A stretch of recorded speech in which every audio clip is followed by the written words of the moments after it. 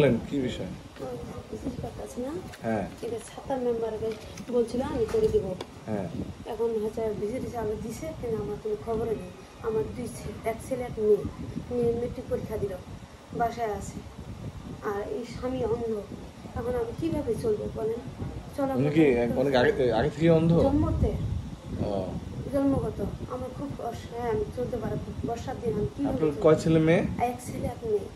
মেয়ের এবারে এসএসসি পরীক্ষা দিল। মেয়ে? জি। আর ছেলে? ছেলে ফাইভ আউট করতেছে। এই দুইটা বাচ্চা আমার অন্য স্বামী। মেয়ে কোথা থেকে এসে ওকে দিছে? এই ঠাউরা দিছে স্যার। ওই যে শিশু পরিবার ইতিমহানা ছিল না? ওখান থেকে পরীক্ষা দিছে স্যার। ওখান থেকে এখন বাইরে দিয়ে চলে আসছে। পরীক্ষা দিয়ে না চলে আসছে। এখন এই বাচ্চাগুলো আমি কি খাওয়াবো? খাওয়াতে না আমার কোনো রাস্তা নাই আমার। আপনার মেয়ে ছাত্রী কেমন? ভালো স্যার। ভালো স্যার। ভালো?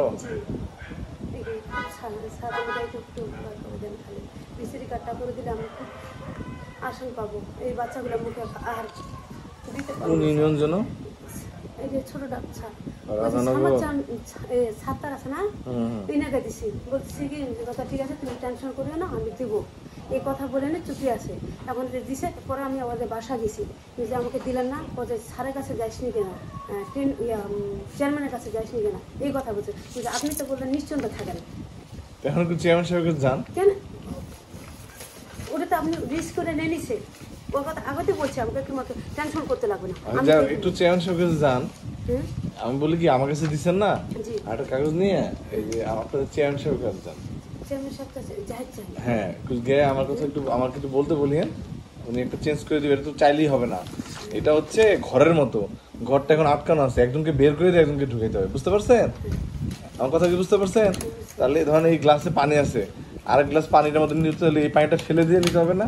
ওইটা হচ্ছে এরকম ঘরের মতো আছে। একজনকে তাহলে বাতিল করে আপনাকে ওখানে এন্ট্রি দিতে হবে।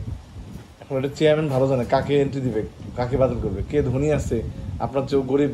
যদি থাকে তো সে তো পাবেই। তারা তো বাদ দিয়ে আপনাকে দেওয়া যাবে না। যাবে। যাবে না। আপনার যে ভালো অবস্থা যে আছে ধনী যে আছে তাকে বাদ দিয়ে আপনাকে দিতে হবে। স্যার এখানে যেগুলো মানুষ পাইছে এটা পাওয়ার যোগ্যতা না। কোনটা? এইখানকার মানুষগুলো দেখেন এইখানে কিন্তু ঠিক আছে ঠিক আছে। আপনি একটু চেয়ারম্যান সাহেবের কাছে দেখা করে আসেন। আমার একটু ফোন দিতে বলুন হ্যাঁ আপনি এখনই যান। যে কথা বলতে। ঠিক আছে, আমি চেষ্টা করব, হ্যাঁ? আচ্ছা, আমি দেখব। স্যার আমাকে একটু এই স্বামী অন্ধ বি- কোথায় বৃষ্টি ঝড় বাড়ি বৃষ্টি যাবে স্যার বলেন। ঠিক আছে ঠিক আছে। খুব কষ্ট হয় মানুষটার ও আচ্ছা। ঠিক আছে হ্যাঁ তাহলে আমি তো শুনছি আপনার কথা না? ঠিক আছে ভালো থাকেন। ওয়ালাইকুম আসসালাম। স্যার অন্ধ মানুষ।